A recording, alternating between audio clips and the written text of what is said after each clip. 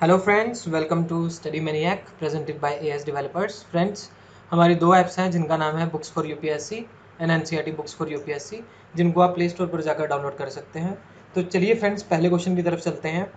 हमारा पहला क्वेश्चन है the constitution of India empowers the supreme court of India to adjudicate dispute between the centers and the state through हमारे option हैं A appellate jurisdiction B original jurisdiction C advisory jurisdiction and D writ jurisdiction तो friends हमारा answer है B that is original jurisdiction friends मैंने यहाँ पे facts में advisory jurisdiction के बारे में लिखा है।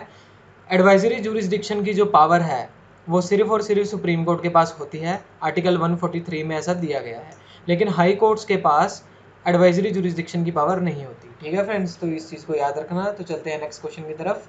हमारा सेकेंड क्वेश्चन है which among the following statement defines the Laffer curve हमारे ऑप्शन हैं A there is an optimum rate of tax at which the revenues are maximised B the inequality of income distribution C environmental quality and economic development and D the rate of unemployment at the rate of inflation in an economy तो friends इसका answer है A that is there is an optimum rate of tax at which tax revenues are maximise okay friends चलते हैं next question की तरफ़.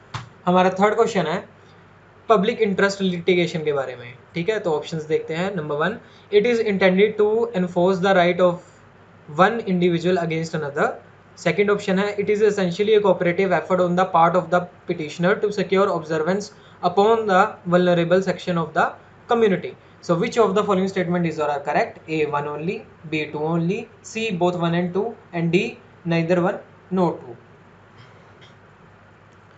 तो friends इसका answer है B that is two only तो फ्रेंड्स मैंने यहाँ पे लिख दिया है कि P I L is brought before the court not for the purpose of enforcing the right of one individual but for the community ठीक है फ्रेंड्स चलते हैं नेक्स्ट क्वेश्चन की तरफ़. हमारा फोर्थ क्वेश्चन है.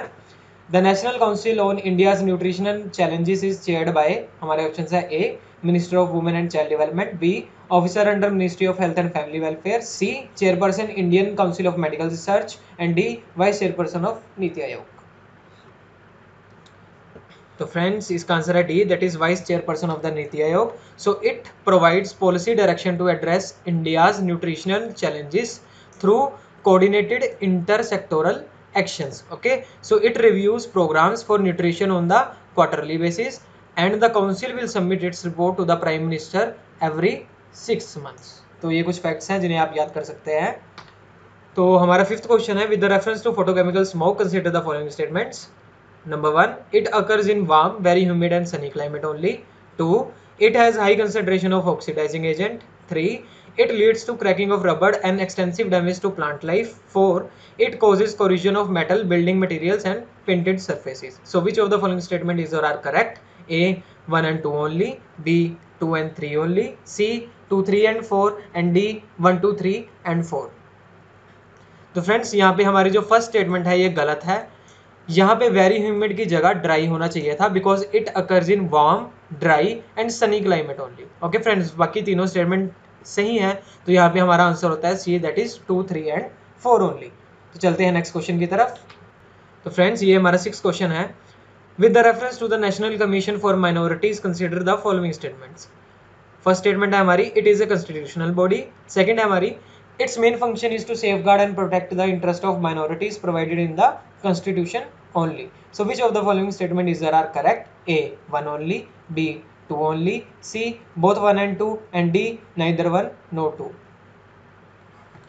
तो फ्रेंड्स इसका आंसर है D that is neither one no two because it is a statutory body okay friends ये एक स्टैच्यूटरी बॉडी है uh, under the National Commission for Minorities Act of 1992. Also, its function is to safeguard the interest of minorities provided in the Constitution and laws enacted by the parliament and the state legislature okay friends तो इस चीज़ को याद रखना। चलते हैं next question की तरफ़।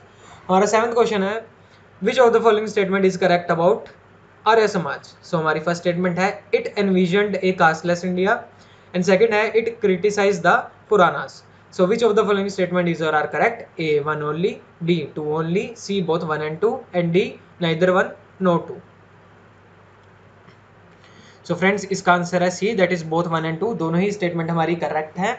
सो so, जो हमारी ये मूवमेंट थी it was a revivalist movement containing strong notion of equality formed by Swami Dayanand Saraswati ठीक है friends so their famous slogan was back to Vedas they criticise later Hindu scriptures such as Purana तो ये पुराना को इन्होंने criticise किया था. ठीक है तो चलते हैं नेक्स्ट क्वेश्चन की तरफ़. तो फ्रेंड्स ये हमारा eighth question Darpan project is an IT modernisation plan of a हमारे ऑप्शन है A ministry of information and broadcasting B ministry of communication C ministry of home affairs and D ministry of electronics and information technology तो friends इसका answer है B that is ministry of communication so friend Darpan क्या है? Darpan is a digital advancement of rural post office for a new India okay friends तो क्या करना है? इस स्कीम के अंडर गवर्नमेंट ने जो हमारे पोस्ट ऑफ़िस है, उनको डिजिटल करना है। ओके सो सिंपल सा है। इतना ही याद रखना है आपने। तो चलते हैं नेक्स्ट क्वेश्चन की तरफ़। तो फ्रेंड्स ये हमारा नाइन्थ क्वेश्चन है। So consider the following statement with the reference to Bar Council of India. हमारे options है one, it is a statutory body. Second, it sets standards for the legal education and grants recognition to universities and law colleges. A third option है हमारा, it provides financial assistance to organize welfare scheme for its members. So which of the following statement is are correct? A 1 and 3 only, B 1 and 2 only, C 2 and 3 only, and D 1, 2 and 3. तो friends इसका answer है D that is one two and three only तो friends यहाँ पे facts में मैंने दिया हुआ है कि bar council of India is a statutory body establish under the advocate act तो आपको ये याद रखना है कि ये एडवोकेट एक्ट 1961 के अंडर बनी है। ऐसा बार काउंसिल का कोई सेपरेट एक्ट नहीं है, ये एडवोकेट एक्ट ऑफ़ 1961 के अंदर बनी है। तो चलते हैं हमारे आखिरी क्वेश्चन की तरफ़। हमारा टेंथ क्वेश्चन है with reference to the hydrocarbon consider the following statements हमारी फर्स्ट स्टेटमेंट है they are formed by incomplete combustion of fuel used in automobiles second option है दे आर नॉट कार्सिनोजेनिक हमारा third option है they harm plants by causing ageing breakdown of tissues and shedding of leaves and flowers so which of the following statement is are correct a 1 and 3 only b 1 and 2 only c 2 and 3 only and d all of the above so friends इसका answer है a that is 1 and 3 only because they are carcinogenic okay so hydrocarbons are composed of hydrogen and carbon only and are formed by incomplete combustion of fuel used in automobiles.